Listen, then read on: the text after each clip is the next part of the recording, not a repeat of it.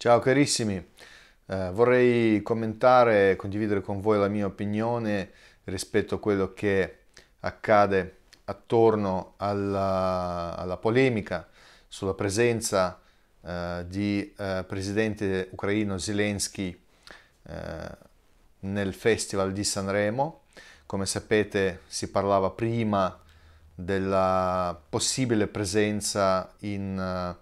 tramite un video quindi lui doveva uh, essere in collegamento, uh, chiacchierare magari con i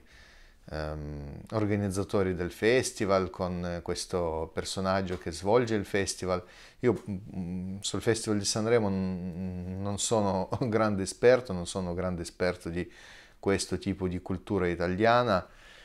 um, sempre eh, insomma, ammesso che di cultura si parla, io sotto la parola cultura intendo altre cose, eh, però anche Festival di Sanremo nel, nel, suo contenuto comunque fa parte del mondo culturale. E, ehm, io non voglio commentare assolutamente in nessun modo eh, i contenuti delle manifestazioni come Festival di Sanremo, proprio perché per me si tratta già eh, di suo eh, di una, mh, mm, insomma, mh, mm, una parte della, della, cultura moderna che mh, mm, non degna dell'attenzione eh, di chi vuole veramente approfondire eh, una, un particolare eh, rapporto con, eh, con la eh, cultura, eh, con il bello, con la poesia, con la musica. Per me eh, tutto questo sta fuori da ciò che è Sanremo. Io Sanremo lo percepisco come una eh, grande eh, fiera del vuoto, vuoto umano, vuoto culturale, vuoto poetico, ehm, cioè una gara tra eh, tutto quello eh, che eh, rappresenta la nostra attuale cultura dell'estetica priva dei contenuti. Quindi per me il, eh, il mondo dove mancano, scarseggiano disperatamente contenuti e quindi mh, si cerca di ehm, in qualche maniera rimediare la mancanza del contenuto eh, utilizzando eh, la, eh, l'estetica, utilizzando la cornice, utilizzando quello che è eh, l'involucro. Quindi eh, quando una persona ha poco da dire, eh, non so, si fa travolgere esteticamente e fa lo shock e dà qualche messaggio che lui perseguita, non so, che lui vorrebbe eh, insomma, comunicare eh, con, eh, con, il resto della, della, società. Per carità, sempre si tratta di un'operazione culturale, però secondo me, sottolineo, io personalmente seguo un altro tipo di comunicazione culturale, l'arte, eh, la musica, ehm, la poesia, la letteratura, per me non hanno niente a che fare con manifestazioni come quelle di Sanremo. Qua si tratta proprio dello spettacolo, dello spettacolo tra l'altro anche più becero che esiste, il mondo dello spettacolo intendo, tutto quello che è legato alla, a tutto ciò che la vera uh, cultura critica e rifiuta. E quindi per me è già complicato, uh, insomma, era già complicato immaginare eh, la presenza in un luogo del genere eh, un personaggio come Zelensky perché facevo fatica a immaginare che tipo di eh, contenuto, che tipo di messaggio può eh, portare lui in una situazione già eh, così degradata come il Festival eh, di Sanremo. Eh, per cui mh, degradato ovviamente culturalmente parlando, umanamente parlando, cioè una situazione che, ehm, una manifestazione che si è trasformata eh, in una vera e propria vetrina eh, delle nullità eh, di mm, tutto quel, tutto quel poco approfondito che, che esiste nella nostra cultura mm, si mette in vetrina e quindi eh, cerca di attirare l'attenzione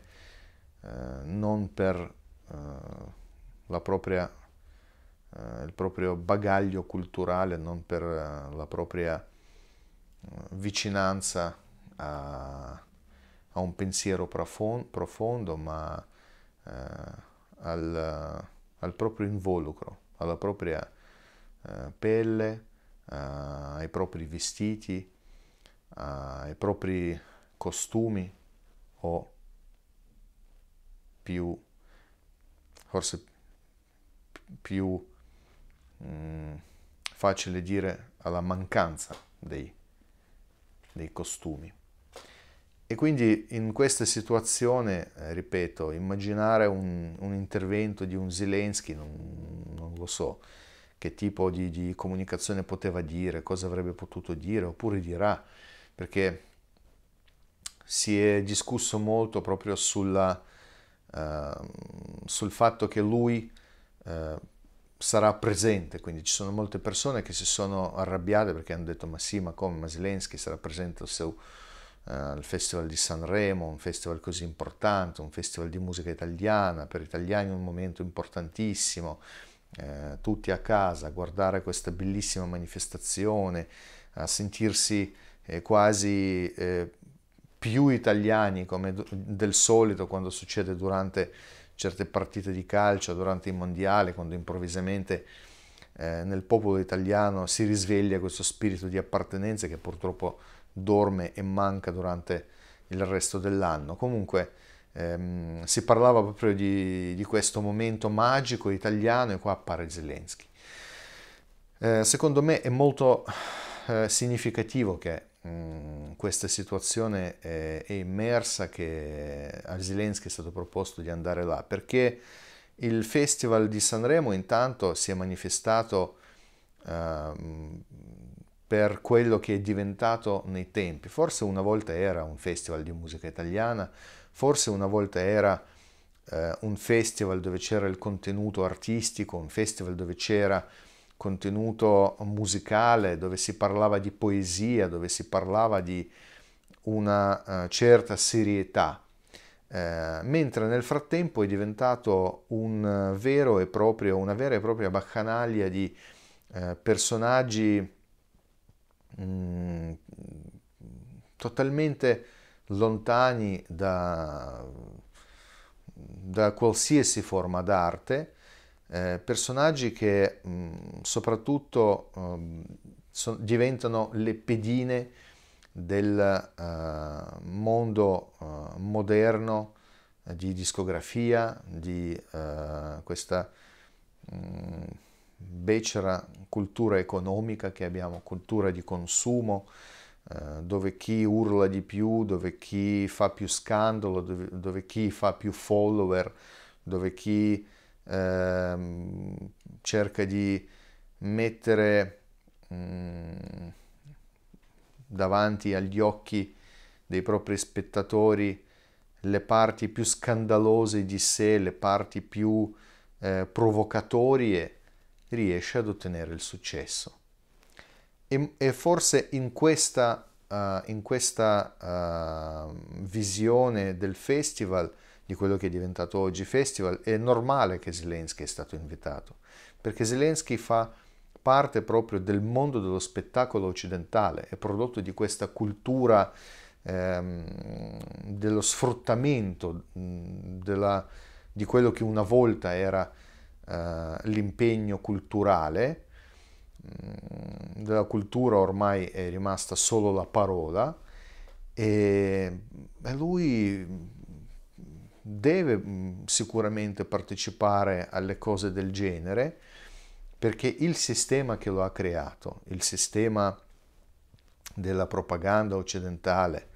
eh, pagata con dei soldi degli oligarchi occidentali, quelli che sono interessati di mantenere il proprio controllo sulle aree eh, geografiche che a loro interessano da sempre, che loro da sempre reputano uh, il loro cortile di casa, come ad esempio la, i paesi dell'Europa occidentale, paesi, paesi dove noi viviamo.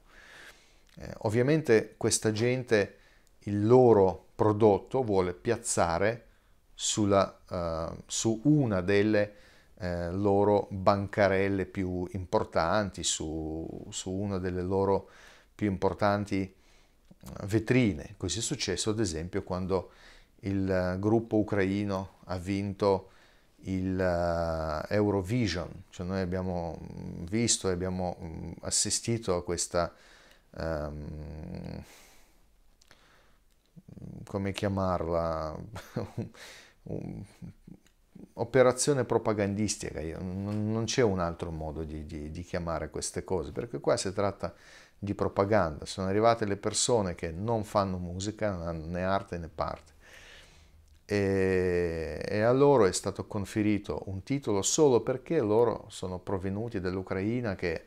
è stata aggredita dai russi, quindi Ehm, e questo è avvenuto non solo in, in, quella direzione, anche ci sono state le vittorie sportive abbastanza, uh, abbastanza discutibili, proprio perché si è sviluppato questo modo di trattare in una maniera particolare quelli che noi vogliamo, la nostra propaganda vuole far passare per le vittime. Cioè noi occidentali abbiamo creato una narrazione di povere vittime, perfette, ideali, eh, come si scrivo, scrivono molti democratici, eh, baluardo della democrazia, gente che lotta per i valori occidentali, ovviamente lontano dalla realtà perché in Ucraina non c'è né democrazia né valori occidentali, è un paese eh, dove purtroppo sono deliberati certe visioni dell'estremismo di destra che fanno paura alla gente eh, per bene e dovrebbe fare paura. E, mm, e, quindi di fronte a tutta questa situazione negativa che si sviluppa là, ehm, in qualche maniera devono i, le forze che cercano di trasformare l'Ucraina in, in vittima e cercano di continuare questa narrazione di vittima, devono continuare a rappresentare anche i leader di, di questo paese, i funzionari uh, in un certo modo. Quindi per questo Zelensky sempre gira con la maglietta, per questo lo sempre riprendono in un certo modo, per questo eh, nelle interviste lui ha un dis- discorsi sempre impostati in una certa maniera, perché ci fanno um, fare un grande film. Una, noi stiamo guardando una grande serie televisiva eh, creata, io penso che questo progetto, questo momento storico passerà nella storia come prima uh, guerra dove eh, la mh, più grande battaglia si è svolta proprio uh, sulle, ehm, sulle piattaforme di informazione e piattaforme di intrattenimento, dove le piattaforme di intrattenimento sono più grandi armi da guerra, si sono rivelati più grandi armi da guerra. Per cui in questa situazione è normale che Zelensky è stato invitato a, a, Sanremo, quindi non c'è niente di strano se hanno cominciato a parlare di questa cosa, se i nostri giornalisti, soprattutto quelli che, come io spesso dico, hanno perso la loro lingua eh, nel di dietro di eh, oligarchi anglosassoni e di, in quelli dei loro pupazzi, eh, e ovviamente anche in questo momento loro stanno facendo tutta una narrazione particolare di Zelensky in questo momento. Questi giornalisti normalmente, normalmente che esaltano questa iniziativa, um, però quello che mi ha colpito in realtà è quello che ci fa sperare è la reazione dei molti italiani. Questa è una cosa su quale bisogna concentrarsi, vuol dire che non è mh, del tutto ehm, morto in Italia, non è del tutto in Italia e si è trasformato in una becera e corrotta uh, propaganda uh, atlantista oligarchica. Qua ancora ci sono persone che ragionano, che si domandano su quello che accade, che vogliono le informazioni obiettive, vogliono assicurare al proprio paese, se vogliamo, un certo livello di vera sovranità. Sovranità che l'Italia ovviamente politicamente non ce l'ha, perché l'Italia è un paese totalmente gestito dai uh, sistemi anglosassoni. L'Italia è un paese, possiamo dire, uno zerbino degli Stati Uniti d'America e della Gran Bretagna. Però ci sono molti cittadini che si stancano di questa cosa e se prima questa cosa magari si sentiva un po' uh, come un, un retroscena soffice eh, e non entrava in conflitto diretto con gli interessi di molti italiani. Adesso molti italiani sentono che questa prepotenza del sistema anglosassone eh, li sta uh, facendo male, sta facendo male alla nostra economia, sta facendo male alla nostra cultura, alla, alla propulsione politica del nostro, uh, del nostro paese, ci sta rendendo sempre più ridicoli e sempre meno liberi. E ovviamente quelle persone che cercano di informarsi, che cercano di trasmettere le informazioni. E lo fanno già dai tempi del Covid, perché Covid è stata la uh, prima ondata uh, nella quale il sistema che ci sta devastando ha dimostrato le sue capacità oppressive. E quindi molti degli italiani hanno cominciato a sollevare la testa già nel momento di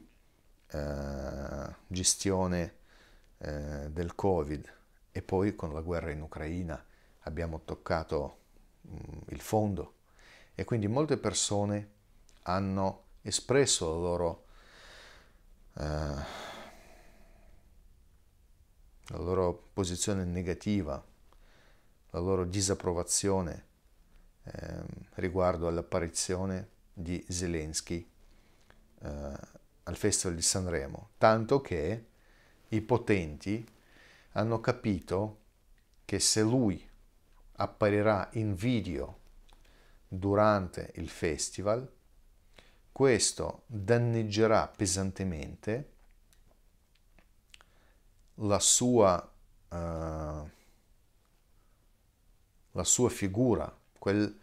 quel poco di autorevolezza che le è stata creata dal sistema mediatico qua in Italia. Quindi eh, quei, eh, quelle persone che gestiscono l'immagine di Zelensky qua in Italia sicuramente hanno eh, suggerito a, ai padroni di Zelensky, a quelli che si occupano eh, del, di questo prodotto di marketing eh, politico, hanno suggerito di evitare questa cosa. Quindi per questo motivo adesso hanno fatto un retromarcia, hanno detto che forse sarà letto un messaggio, ehm, perché per loro dire, è molto pericoloso di dire noi eh, abbiamo deciso di non eh, far partecipare completamente Zelensky a Sanremo. Vuol dire che loro hanno perso. Comunque loro hanno perso in ogni caso perché il fatto che hanno fatto retromarcia vuol dire che le masse in Italia hanno dimostrato che eh, loro, um, il loro atteggiamento e la loro opinione vale di più del desiderio dei padroni rispetto a quello che succede nel Festival di Sanremo. E per evitare che in Italia le persone andassero oltre, per tenere la nostra società sempre in, questo, uh, in queste soffici uh, tenaglie ideologiche, hanno deciso di non esporre il loro prodotto su questa vetrina. Però lo faranno in una maniera diversa, comunque leggeranno un, un testo. Questo a mio avviso è abbastanza uh, emblematico, è un fatto positivo non per, uh, non so, per Putin, perché a Putin non può fregare di meno di Zelensky, di Sanremo, dell'Italia e di tutto il resto. Lui sta pensando di altre cose geopolitiche, ha la testa d'altra parte adesso del vecchio continente, insomma lui ha un'idea complessiva e, e non tratta i paesi singoli. Lui da tempo, Putin già non, non ha illusioni nei confronti um, delle, eh, delle, delle, mancanze, um, mancanze di, uh, di indipendentismo all'interno della vecchia Europa. Lui capisce che i paesi di vecchia Europa sono totalmente schiavi degli Stati Uniti d'America, quindi lui quando c'è da parlare con qualcuno parla con gli americani. Qua non penso che lui considera seriamente um, qualcuno che proviene da, dai paesi di, di vecchia Europa. Quindi a Putin non ne frega niente di questa cosa. Lui secondo me neanche, neanche segue queste situazioni. Magari le dicono, magari le scrivono sul foglietto come una notizia tipo Zelensky non apparirà a Sanremo in video, però sarà letto il suo messaggio. E lui leggerà e, mentre beve il suo caffè di mattina o il tè con il latte, non so cosa beve lui con biscotti, e dirà, sì, vabbè, che se ne frega, e, e va avanti. Questa notizia è importante per noi e deve dare agli italiani una, un messaggio chiaro. Eh, la nostra società è capace di ribellarsi in maniera civile, in maniera, uh, se vogliamo, anche uh, non violenta, grazie alla compattezza uh, unidirezionale, se noi ci uniamo tutti e indipendentemente dalle nostre opinioni divergenti su varie cose, ma se su una, su una, con, su una concreta tematica noi riusciamo ad impegnarci e dimostrare il nostro dissenso, siamo ancora in grado di cambiare qualcosa. E questa è una cosa buona. Non so se gli italiani eh, lo capiranno, io spero di sì. Non so se la maggioranza degli italiani farà un tesoro di questa esperienza, io spero di sì, ma una cosa importante è che questo è un grande segnale che il sistema di propaganda anglosassone che padroneggia nel nostro paese ha temuto seriamente eh, l'opinione eh, delle persone che si oppongono a certi meccanismi di questo sistema. E quindi è un segnale buono e positivo per chi si oppone. A chi non ne frega niente, ovviamente continuano a fregare niente. C'è Zelensky, non c'è Zelensky su, uh, a Sanremo, ci sono persone che leggono uh, Gazzetta dello Sport, continuano a pagare la loro Alfa Romeo a rate e per loro sono importanti queste cose lì. Poi della guerra in Ucraina a loro basta quello che scrivono 4-5 giornali di propaganda, loro non leggono neanche articoli, leggono i titoli e dai titoli già capiscono quello che mm, a loro serve per capire e la loro opinione si è creata su questa cosa. Poi spesso a me capita leggere alcuni messaggi di questi signori o signore sui miei canali che si atteggiano anche da esperti io mi rendo conto che bastano due o tre frasi, due o tre eh, dati storici per smontare tutto il loro mondo fittizio che hanno in testa. Però a loro non fregherà niente sicuramente, loro sono ehm, concentrati su altre cose. Mentre per gli oppositori, per chi da, da tempo ha capito che si trova in una bolla della propaganda e dell'informazione gestita eh, dai corrotti, questo è il momento importante, è il momento da ricordare, un momento da prendere come l'esempio per, un, per l'organizzazione di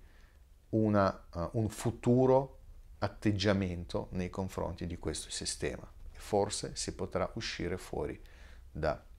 questa terribile situazione che stiamo vivendo. Grazie carissimi per essere stati qui con me, vi mando un forte abbraccio, vi invito a seguirmi sul mio canale Instagram, sul mio canale YouTube, sul mio canale Facebook. Se volete approfondire le informazioni che io non posso per motivi di censura pubblicare sui canali sovracitati, io vi invito ad iscrivervi al mio canale Telegram. Il mio canale Telegram ufficiale si chiama Nicolai Lilin. Andate lì, registrate, seguite i miei video perché troverete molto di quello che il nostro mainstream non vi farà vedere.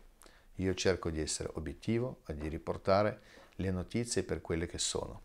Grazie amici, un forte abbraccio.